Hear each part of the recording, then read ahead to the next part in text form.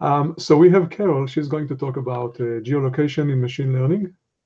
And Carol uh, is a person with a lot of experience. She has a lot of uh, hands-on um, training that she uh, she delivers in different situations, and uh, she will uh, tell us more about herself. And let's just get started. Okay. okay. So first, I'm going to share my screen. I mean, I'm going to play the slides.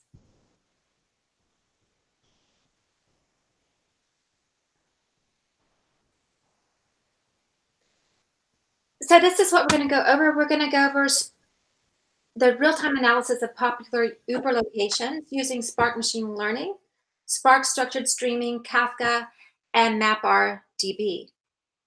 This is what the agenda looks like. So first of all, we're just going to give a brief overview on supervised machine learning and clustering. Then we'll use k-means to cluster Uber locations, and then we're going to save the machine learning model. We'll give a brief overview of the Kafka API, and then we're going to use Spark structured streaming to read from a Kafka topic, enrich the messages with the machine learning model. And then we're going to write this to MapRDB JSON. Then we're going to query these continuously updated database with Spark SQL. This is what our application looks like. So we have, here we have the uh, Uber cars are publishing to a Kafka topic then a Spark stream structured streaming process is reading from this Kafka topic using the saved machine learning model to enrich these messages and store this in MapRDB, where it's available for continuously querying with either Spark SQL, Apache Drill, or other dashboards. Oh, speaking of which, real quick, I'm going to show the other dashboards. With, um,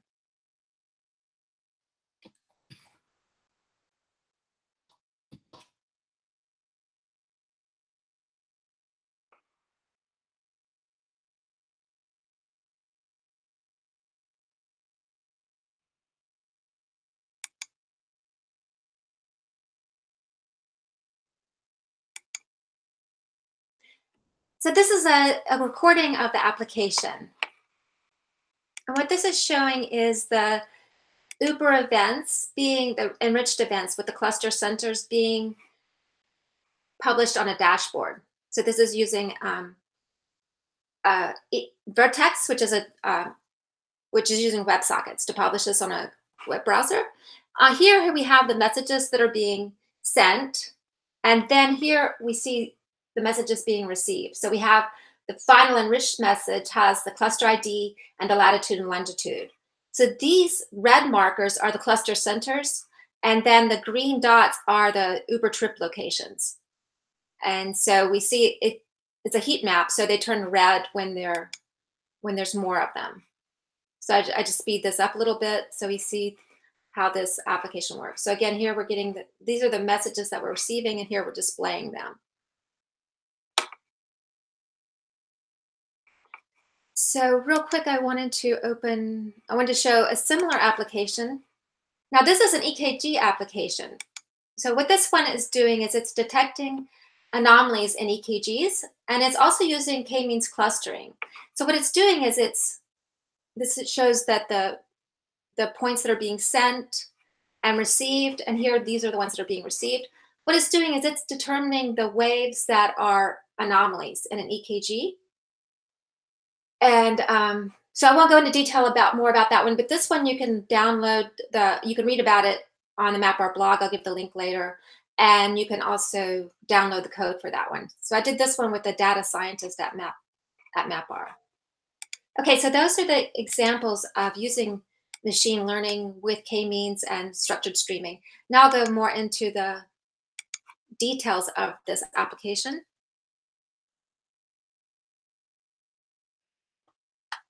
First of all, just a brief introduction to machine learning and clustering. So this shows machine learning. What it does is it machine learning uses algorithms to find the patterns in data. And then it uses a model that recognizes those patterns to make predictions on new data. There are typically two phases in machine learning with real-time data. The first phase involves analysis on the historical data to build the machine learning model. The second phase uses the model in production on live events. And that's what we're going to do in this one. First, we're going to build the model, we're going to save it, and then we're going to use the deployed model on live events. So first, we're going to build the model with historic data. This just shows another um, depiction of the same process. It shows a little bit more detail that you also want to monitor your deployed model and update it. In general, machine learning may be broken down into two classes of algorithms, supervised and unsupervised. With supervised learning, you have a known outcome or label that you want your data to predict. Unsupervised, unsupervised algorithms do not have the outputs or labels in advance. And in this example, we're going to be using unsupervised learning. Supervised algorithms use labeled data in which both the input and target outcome or label are provided to the algorithms. And this is used to build the model. And then you can use the features and the model to predict a label. Unsupervised algorithms find patterns in unlabeled data. For example, grouping similar customers based on purchase data. Then they use this model with new per customer purchase data, for example, to find a similar customer group. Google News uses a technique called clustering to group news article into different categories based on the text content. Clustering algorithms discover groupings that occur in collections of data by analyzing similarities between input examples. Some machine learning examples of clustering include grouping search results, grouping similar customers, grouping similar text for categorization, grouping similar products for behavior or grouping similar products or or behavior for recommendations. And also anomaly detection. And what anomaly detection does is it finds what's outside of the group so what's not similar. And that's what the ekg example is doing. It was finding the anomalies. Let's go through a clustering example using the k-means algorithm we want to create k number of clusters that group these data points with those that are most similar or closest. Clustering using the k-means algorithm begins by initializing all the coordinates to k cluster centers. With every pass of the algorithm, each point is assigned to its nearest cluster center. So here, we're, for example, we're assigning all these points to the nearest cluster center. The centroids are then updated to be the centers of all the points assigned to it in that pass. And this is repeated until there's a minimum change of the cluster centers from the last iteration. And so here we see the final result where the clusters, the cluster centers are in the center of the points assigned to it. Now we'll go over clustering the Uber trip locations. First of all, just an explanation of Spark distributed data sets and data frames, because that's what we're going to be using. A data set is a distributed collection of objects spread out across multiple nodes in the cluster. A data frame is a data set of row objects, and this is like a table partitioned across a cluster. So this shows a data frame is composed of rows that are distributed across a cluster. This shows how a data set is read in from a file. So first, tasks are sent to worker nodes. And then each task reads a block of data from a distributed file and caches that as a, as a partition in a data set or data frame. So next we're going to look at reading in our Uber data into a data frame or data set. And this is what our data looks like. We have the date and time of the pickup, the latitude, the longitude, and then the base company affiliated with the Uber pickup. And it's in columns, separated format. And so here is what an example looks like, the date, the latitude, the longitude, and then the base. The first thing that we want to do is use a Scala class to define the schema corresponding to a line in the schema file. So here, corresponding to a line in the file. So here again is our format, and we specified the Uber class that corresponds to this. and also the schema.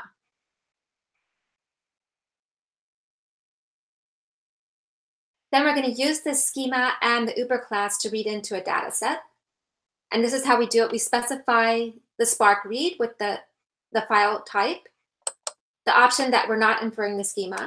You could infer the schema. That means that you don't have to specify this, but it's a lot faster. And in production, it's recommended that you do specify the schema. It also eliminates a lot of errors. Um, so we're not using the header, and then we're specifying the location of the file. And this is that Uber class. So this is going to lo load this into a data frame or data set. Remember that a data frame is just a data set of rows. This is what it looks like then, the results look like. So we get back from this a data set of Uber objects. If we take a couple of rows from this, it looks like an array of Uber objects. So that's this distributed collection. It consists of columns and rows, and each row is then an Uber object. So in Spark Data 2.0, the data set and, and data frame APIs were merged. So again, a data frame is just a data set of row objects. And with a data frame, you can use SQL. A data set is a collection of typed objects, and you can use SQL and functions. With the data frame or data set, you have transformations and actions. Transformations are lazily executed, and they create a new data set from the current one. So that's going to create a new data frame. And actions return a value to the driver. Spark Machine Learning provides a set of APIs built on top of data frames for machine learning workflows. In our workflow, we're going to use a transformer to transform data frame into another data frame with a features vector.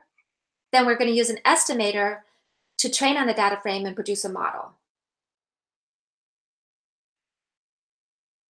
In order for the features to be used by a machine learning algorithm, they need to be transformed into features vectors, which are vectors of numbers representing the value for each feature. So next we're going to look at putting our um, features or the attributes for our machine learning model into the feature vector. So the features of the if questions are properties that you can use for your machine learning model. For our features, what we're going to do is we're going to group by latitude and longitude. So those are going to be our features with machine learning. And then after we've determined this cluster centers, we're going to use Spark SQL to analyze by the day of the week, the time, and things like that for the cluster centers.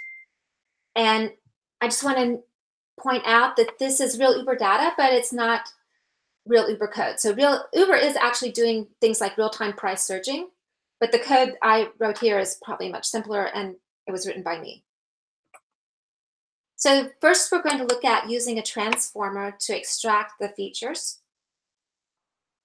And in order to do this, we use what's called a vector assembler. And what we do with our, we create the vector assembler.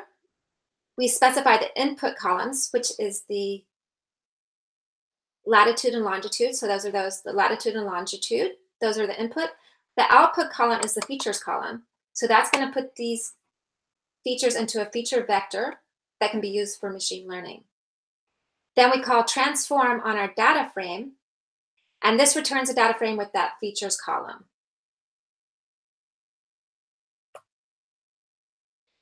The next thing that we want to do is create the k-means estimator. Estimator. That's what we're going to use to create the model to train. And so we create the k-means estimator. We set here the number of clusters we set our features column, which is this. We set, here we're setting the column name for the return prediction of the cluster center. And then how many iterations we want to perform. Then we can use this estimator to train the model. So here we call k-means fit on our estimator uh, with the data frame that has this feature vector. So that's going to put in the feature vector to the estimator. It's going to fit it and return, sorry, and return the k-means model. Then from this model, we can get the cluster centers. So we call cluster centers and we're printing those out. And this shows the cluster centers for our, our data. which is in Manhattan. So we see that the most Manhattan is that where the most dense cluster centers are. And now, now we can analyze this data further. This just shows a close-up of this, our fitted model. So we can get the cluster centers just from the data that we trained already with the predictions clusters. And that's going to return a data frame with all the cluster IDs. Or if we want to use get cluster centers for new data, we can pass in a new data frame onto the model, and that'll pass back another data frame with the cluster centers corresponding to that. Then we can create a view. So this is going to create a table and for us to use. Then we can use Spark SQL with this. So next we'll look at some examples of analyzing this data. Here we're, we're determining which cluster centers had the highest number of pickups. So we're grouping by the cluster ID, getting the count, and then we're ordering this, ordering by the count and descending and showing just the top five. So we see that the top five are six, five, and zero, 16, and then 13. So these we can see are in the Manhattan area, which makes sense. So that's where we have the most pickups. Here we are asking which clusters had the highest number of pickups. This is so the same query that we had before, but here we're using Spark SQL instead of the data frame methods. And we're displaying this in Zeppelin with the, then a table.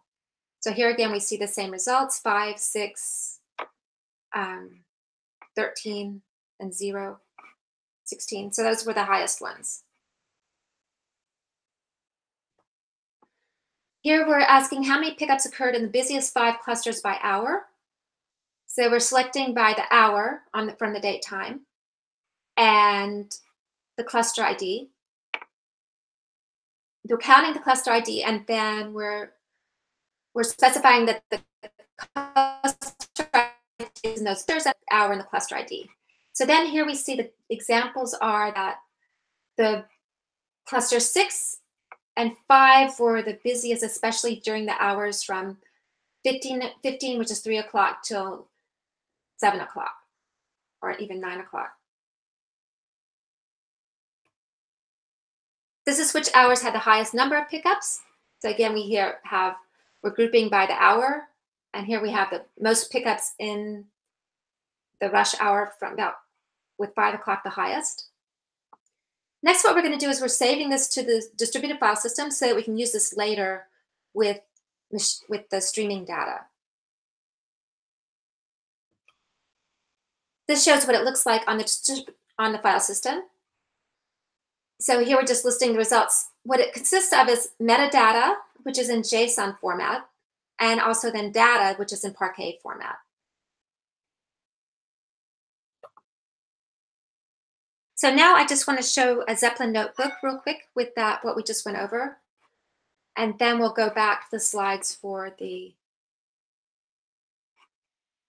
then we'll go back to the slides for the rest of it. Uh-oh.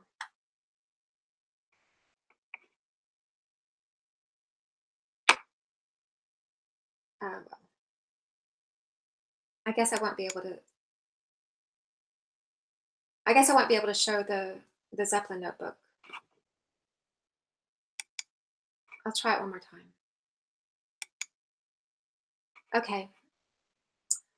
I guess I won't be able to show the Zeppelin notebook. I'm sorry about that. I'll just, um, well, it's, it's mostly, it's in the slides anyway. I just wanted to show it, but um, I'm having problems sharing that part. So here I'll just share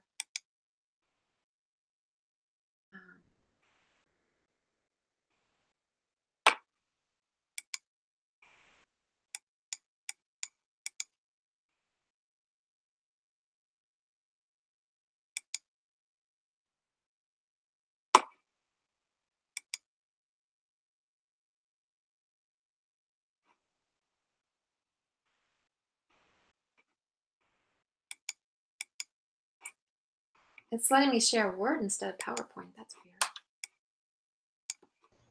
Uh, Carol, meanwhile, we, we have a question. Do you think it's a good time to answer it meanwhile or wait for the end? Uh, I can I can answer a question real quick. Um, did you what did you see when I shared the Word? I don't even have Word running. I, I, think what I saw was this uh, recurs recursive view of the screen. It was um, basically a tangle within itself. You want to try again? Um, well, I just yeah, yeah, I just I'll try it one more time. Okay, uh, there was a question about uh, who um, who would write the algorithm, uh, like the the k-means algorithm. Is it a, a, machine learning engineer or a data scientist? If you have two of these people in the same uh, team, I am not so. Uh, oh, it's, this is happening again. I, I am not so clear myself if there is a good definition of what is a machine learning engineer versus a data scientist, and I think it's sort of a vague demarcation. Um, um, but you have better experience than me. But now the distinction usually is between a data engineer and a data scientist. So, and I would say like the data scientist is the one that, that knows more about the the machine learning and things like that. And then the data engineer is the one that's responsible more for the preparation of the data, making, you know, putting all the, the extract, transform into production. And I think then the, they need to work together to get the machine learning model into production. And then the data scientist also works with the business people to understand the problems and understand how to the data and how to extract the most information out of it. I think it's good for also for developers and data engineers to also understand machine learning um, because it's also becoming more accessible for other people to use. And the, but the data scientists are more spe specific in the knowing the, the details of the machine learning, I would say. Another question uh, is uh, how much horsepower do you actually need to run a Hadoop server and get a decent response time? Well, that depends on the data, the amount of data. The basically the cluster should scale as the amount of data that you have. So you again, your data is partitioned across this cluster, so it really depends on how much data you have. Also, you know, in Spark, it's the data is partitioned when it's stored across the cluster, but in memory, it's going to be also being in memory when it's being processed by Spark. So the amount of memory you need depends on how much data you're processing.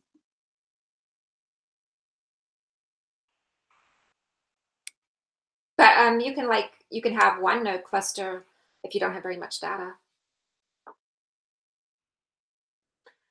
Um, so I, I guess I'll just keep going without the Spark notebooks. Uh, most of the all the information's in the slide anyway. I just I just wanted to show what it looks like in the notebook.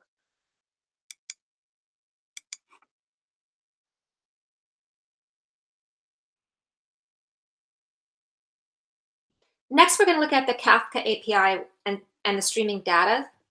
So this is this part of the application where we're receiving the events and we're rapidly storing those and making them available. First of all, what is a stream? So a stream is a and it's an unbounded sequence of events that go from the producers to consumers. And with Kafka, it consists of key values. This is just some examples of streaming data that there's a lot of all kinds of examples of streaming data now that it's being um, becoming more and more important to process this data with machine learning. Here's an example of the EKG, an example of EKG data from the technology review. So a Stanford team has shown that a machine learning model can identify arrhythmias from an EKG better than an expert. Even now, there's on the Apple iWatch, they have an EKG. So, and then this is that example that I showed you in the beginning that I worked on with a data scientist where we, and you, this is so the blog that where you can read about this and download the code. And the slides for this will be also be made available. I have slides I'll be made available on SlideShare. So going back to what Kafka is, Kafka uses topics, and these topics are their logical collections of messages, which organize events into categories and also decouple the producers from the consumers. Topics are partitioned for throughput and scalability. The partitions make the topic scalable by spreading the load for topic across multiple servers. You can think of a partition like an event log or a queue, new messages are added to the end. Also, like a queue, events are delivered in the order they are received. And you, the consumers can use read cursors to read this. However, unlike a queue, messages are not deleted when read. They remain on the partition available to other consumers. I'm not sure if uh, you were advancing slides. We are still in the heading slide. Oh, you are? Oh, no. Yeah, I was advancing slides. The sharing isn't working very well then. Oh, this isn't working at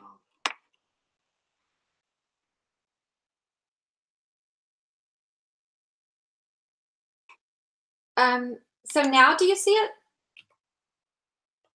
Yes, now they're moving along. Uh, what's work wasn't working was the um. Oh well, okay. I'll just do it this way then. Sorry. I'll try it one more time.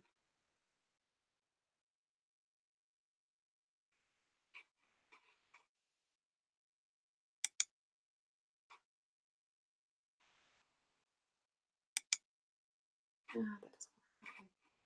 Sorry. Okay, I'll just go. Uh, okay, sorry. Well, I'll just show you the slides real quick that we. So you didn't see any of those? You didn't see any of those slides? Uh, We have not. Huh? No. Okay, so then I'll just show the slides real quick. This is what the stream is. I don't. I won't go over the. Sorry. This is what the stream is. Examples of streaming data. Um, this is a specific example of EKG that was in the news. EKG was streaming data. So that's an example of machine learning and streaming data that was in the news. Um, then, so here, this is how Kafka organizes the data into topics. And the topics are then partitioned across a cluster for throughput and scalability. And this is showing the partitions. The partitions are like a queue and the messages are added to the end. And then this messages are delivered in the order that they're received like a queue. But unlike a queue, the events are still persisted after they're delivered. So they remain on the queue. And this is useful for two reasons. So messages can be persisted forever, or they can be deleted automatically. So it's useful to keep the messages on the queue for two reasons. It makes it faster because it minimizes the disk reads and writes. And also not deleting the messages when they're read means that the same message can be processed for different purposes. For example, if you want to have different views of the same message. So this is, can be very useful. So now going into Spark structured streaming.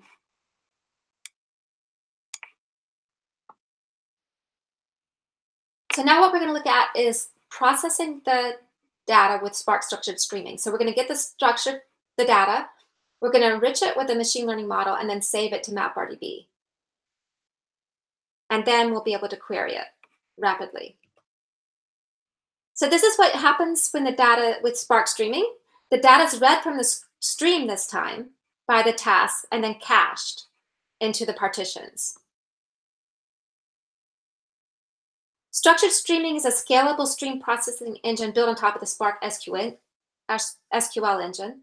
It enables you to view data published to Kafka as an unbounded data frame and processes that of the same data frame and SQL APIs used for batch processing.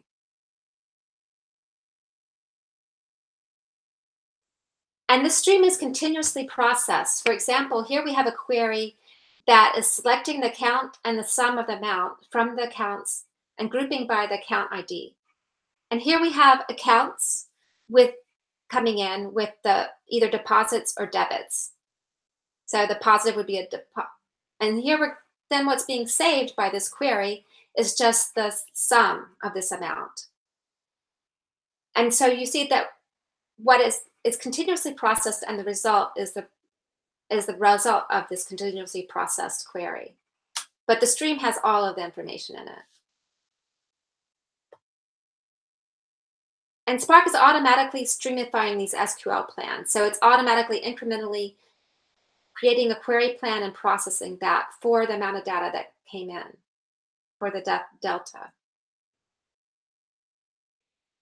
So this processing events, it's useful for things like ETL, filtering, transforming, enriching with the machine learning, which is what we're going to do, and then writing these results to files, databases, or to a different topic in a pipeline. And this is what we're going to do next. We're going to look at the getting this data, extracting the features, using the model, and then getting providing these predi predictions of the cluster centers. So that again is this part of the our example. The first thing that we want to do is we're going to load the saved model. We use that k-means model to, this is a static class, load method, and we specify the path on the distribute from the distributed file system. And this is going to return the model that we can use.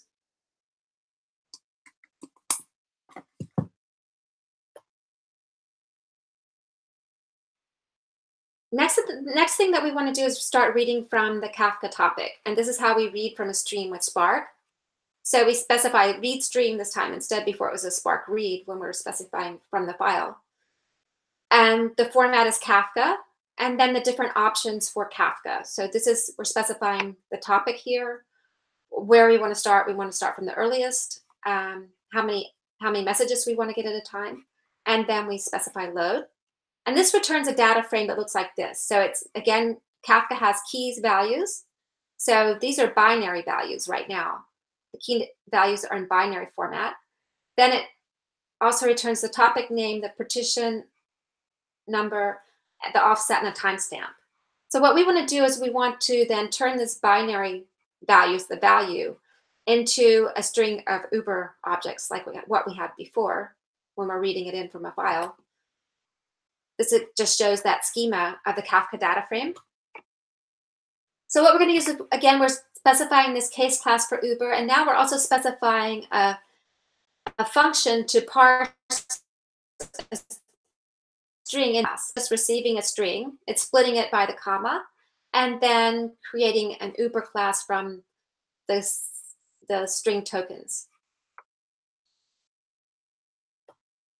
Then we're going to use this, again, this parse Uber function. We're going to use that in a UDF, which is a user-defined function. So we're registering that parse Uber uh, with the met with the UDF called deserialize, which is going to receive a string and return Uber objects by parsing these Uber strings. So then we're going to use this UDF with that data frame that we had before. So we're here we're taking the data frame that has this value column. We're casting that to a string, and then we're using the UDF to deserialize it. And this is going to return then Uber objects. So now we have a data frame of Uber objects. And the thing that we next thing that we want to do with these Uber objects is extract the features from those so that we can get the cluster centers. So to extract the features, what we're going to use again is a vector assembler. Like we did before, we specify the feature columns of the latitude and longitude, and the output is the features. So that then we call transform on that data frame that we have of Uber, Uber objects. And this is going to return a data frame with the features vector. Then we can use that data frame to get the cluster centers with the model. So the next thing that we do is we use the model that we read in.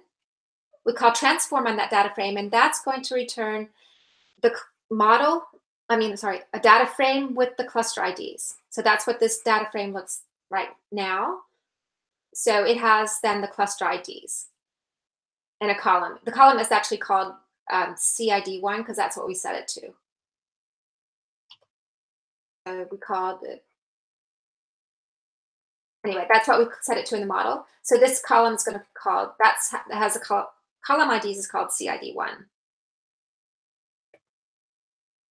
Then we're, here we're doing a little bit of extra stuff because we want to save it to MapRDB. What we need to do is create a unique ID, row key, which is called the ID. So we have to create a unique row ID for this each row. So we're creating a new unique ID from the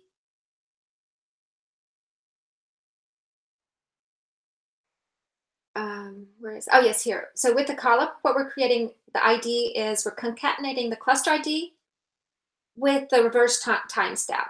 So we, cre we create a reverse timestamp, and that's going to be the, the cluster ID. And so now our new data frame looks like this. It has an, a unique ID and then the, the date time, the latitude, the longitude, the cluster ID, and then we've also added the latitude, latitude and longitude for the cluster ID. So that's that's what we're going to be saving into MapRDB. First, we can show, we can write to memory just to do some test queries in memory. This is not recommended to do in production for because you'll run out of memory, but you can do this for just a little bit of memory to see how it, to, for a little bit of analysis. So this is how you do this. We're writing to a memory sink. So here we specify the output mode of append and the format is memory. And then we start the query and then we can see what's inside of this. Oops. So here we're just doing a select all. So that shows what our data frame looks like. That we now have, this is our enriched data frame with the cluster ID and the latitude and longitude and also an unique ID. Here's a query on our streaming data. So here we're selecting the hour and the cluster ID and getting a count of the cluster ID. So it's showing that the count by cluster ID for hour. And here we see, um, so again, five o'clock is about when you have the most for these clusters, the blue cluster. Zero has the most. So next what we want to do is we want to save this to MapRDB to make it available for more important queries and also available then querying for the um, applications or just analysis. So we're going to be looking at this part of the processing pipeline using the MapRDB Spark connector. And this MapRDB Spark connector, it has a connection object in each executor so that, that this is going to be running with the task in parallel on the partition, partition data. Um, I'll skip that slide. MapRDB is designed for partitioning and scaling. It provides fast reads and writes by row key because the data is automatically partitioned by key range.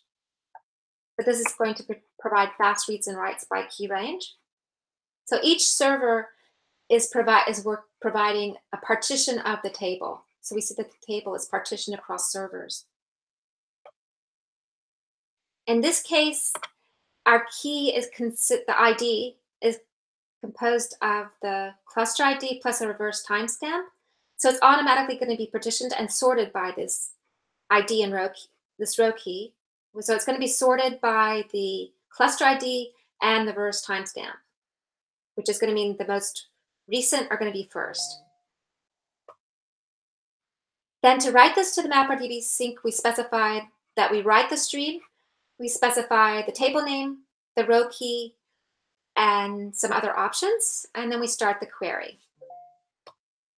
And this is then going to be writing. So this from the partitions, the streams are in partitions, and the tables are in partitions. So all this is going to be in parallel. So it's read into a data data frame in partitions and then written in partitions so that it'll be really fast. Next, looking at exploring this data with Spark SQL.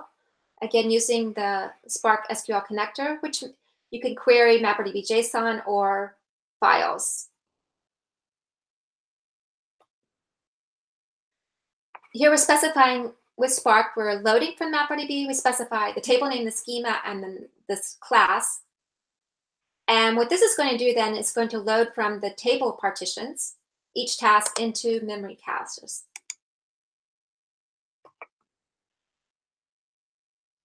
And this shows now what our data frame looks like after we've loaded it. We have, so the data is automatically partitioned and sorted by the row key. So here we see it's partitioned with the, and sorted, so zero is first and the most recent first. We create a table, a temporary view of the table so that we can also use SQL with this. And then we can perform some analysis. So for example, the top five cluster trip counts we group, group by the cluster ID, we count, we order, and then we show. which we see that 6, 5, 0, 16, and 13 are the have the highest number of trips, which again correspond to this. And this one, this map, what we're showing is here are the cluster centers, and then these are the points that we're displaying on the map again. This is done in a Zeppelin notebook, if I could show that. Here we're just we're displaying the latest location. So this is again going to be continuously updated if we're structured streaming this into MapRDB. So this is going to be continuously displaying the most recent. Here's an example of which hours have the highest pickups for cluster ID zero. So we're filtering first by the row key is less than or equal to one, so that would be zero, because again, the row key has the cluster ID in it. Then we're selecting the hour and the cluster ID, and we're grouping by the hour and the cluster ID, and then we're getting the count. So that is for cluster ID zero, the highest numbers. This shows if you do explain on your queries, then you get the, the query plan for this. And here what it shows is that this project the filter, so the projection is the selecting of the hour and the alias. And then the filtering is, we're filtering on the row key. So this projection and filtering is getting pushed down into MapRDB. And what this means is that it's going to give you a better performance because it's going to be returning less data. So this is the selection and filtering is pushed down into MapRDB. So that's going to be happening in MapRDB. So it's returning less data to the Spark engine. So it'll give you better performance. So that's important actually. If you don't need all the data, then you should specify that you don't want all the data. Here for, here's a query for which hours and clusters have the highest pickups. So here we're selecting the hour, the cluster ID, and then we're grouping by the hour and the cluster ID. And we see um, the red and the green have the highest number, which is five and six in the rush hour. So all that you can read about this and all the code is available in this new ebook from MapR, which is free. You can download it here. And there's also other examples in this new ebook. We also have other free e MapR ebooks, um, and it's these are all available for download at mapr.com slash ebooks. We also have a Spark 2.0 training at learn.mapr.com. We also have a Spark 2.0 certification the training is also free. We also have a lot of blogs about Spark and other things on the MapR blog. And everything I talked about can run on the MapR data platform, which you can also, you can download different versions like to run on a sandbox or you can run it in the cloud. So you can, you can download that to try that out also. And so again, I'll make these, these slides available on SlideShare. And now I'm, I'm I'm ready for any questions.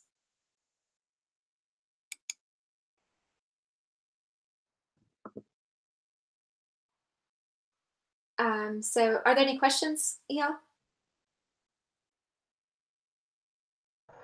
I don't see any new question at the moment. We can maybe discuss a little bit more about uh, different uh, roles.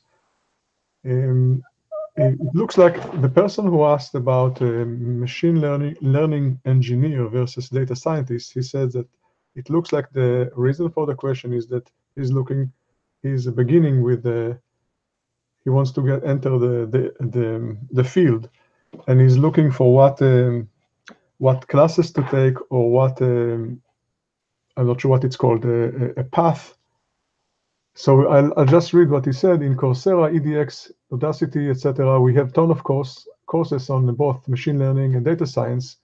So wondering which one to start. It looks like he decided to start with data science, but if you have any input about how to choose the path, how to choose classes, or if you learn on your own how to choose the materials that you want to get started with, how um, how to decide what uh, in which direction to go based maybe on on current experience or interests or what it is that you're going to do at the end. I think the question itself was, the original question was, uh, who is actually writing the algorithm perhaps versus who is just using the algorithm, but maybe there is more there is more to say here. Well, um, for getting started, that's true. There's there's a whole lot of there's a whole lot of examples now on Coursera, edX, Udacity, also on O'Reilly. There's a lot. Um, so what I do, I just try out I try out different ones and stick with the ones that I like the best. So I've I don't personally I like a lot of them on Coursera. Um, then there's also like if you want to learn more about Spark, then again we have the Spark on our at mapr.com. We have an online class that, where you can specifically learn about Spark. And um, yeah, I would just think that it depends on your preference, which one you like better. Then there's, you know, it also maybe depends on what you want to do with it. If you're more like a, a dev, if you want to go more the developer type or data engineer type, or really get into the the more the the data science part of it, then you know that might depend on which type of class you like too. There's a whole lot of and there's blogs and too. There's even like um, there's also lists of blogs and stuff that you can use. Another there's some really good websites like Data Science Central, and there's a, there's a lot, really a lot. So there is another uh, question uh, about the real-time um, characteristic. What technical challenges one may face with uh, real-time data processing? Well, one is you know the speed of the data. So how that's how much data is coming in, and can you can you store and process it fast enough? And that's where something like Kafka and Spark Streaming helps that you you want to be able to process this quickly. Um, so you want to be able to process it. And typically what I said is actually, you don't actually perform the machine. Usually you don't perform the machine learning on the on the streaming data. Usually you, you, you want to look at historical data, perform the machine learning there, and then you're going to use that model with the live data. There are some like algorithms that can learn on live data, but typically you, you need to like analyze the historical data to be able to use the live data for like to use the live data.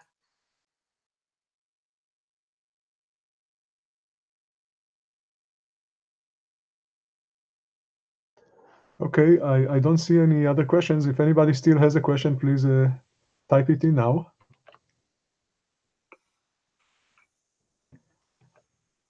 Would you like to maybe tell us a little bit about what you do um, in your job? What you've done before, possibly as well? Uh, so I have a I have a developer background. I worked in um, different areas as a Java. I was a Java developer. I worked in on banking and banking loans, and then also in telecom and in health insurance. I worked on a health insurance exchange, and then I, I switched over to big data with MapR so I went, I was using Java Enterprise Edition a lot before that. Then I switched over to big data and I started out looking at HBase and then then MapR, um, then I'm sorry, Apache Drill, which is a SQL, another SQL engine for analyzing data, big data. Um, then I started looking into Apache Spark in detail and and then typically what I do is I write prototypes and work, work with other people at MapR and then write a lot of tutorials about that. Uh, I see something else came up here. Give me a second. It says, as a Kafka topic is spread across multiple partitions, is it guaranteed the client would get the messages in the correct order? If not, how to handle them correctly? That's a good question. So the, the topics, the partitions are in order. So the partitions are going to be in the order that they were received. So each partition is in, in order. So if you if it's important that you want to receive those messages in order, then you would read from that specific partition to get them in order. If you're reading from multiple partitions, then the order is going to be is going to be, you know, not not in order. But anyway, so for each partition, it's in order. Also, the, the offsets are in the order that they're received for that partition. So the offset is the ID of the message.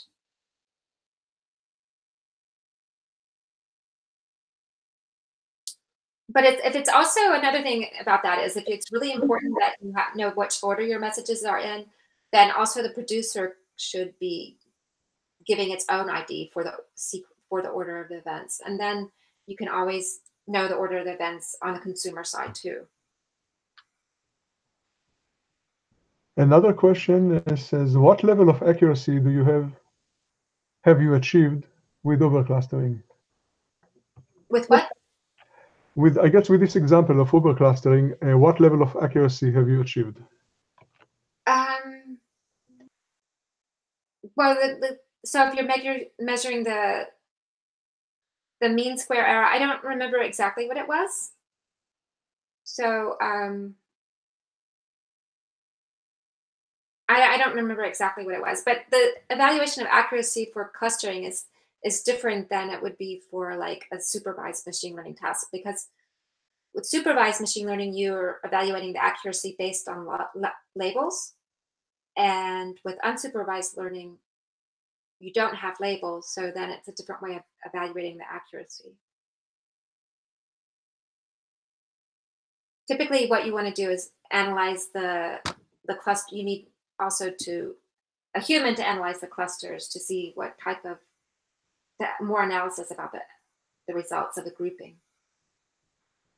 Somebody is asking when will the slides be available on the on SlideShare? So uh, we just sent uh, the the link for the uh, SlideShare in the chat of the YouTube. I can put it later also in the in the actual comments of the video and the comments of the meetup. So uh, Carol, thank you very much. Oh, thank you. And uh, we hope I hope to yes we all hope to see you back uh, presenting in the future. Um, hands-on presentations I, I, think are very important for what we do. Uh, it's beyond uh, just reading about algorithms and um, how we could use them, but we see here uh, how they are being used. Uh, so um, thank you for everybody that joined us. And uh, all of you that uh, were not able to join us um, in real time, hopefully you're watching it later on. And uh, we hope to see you back in the March meeting that we will announce soon. Thank you very much. Goodbye.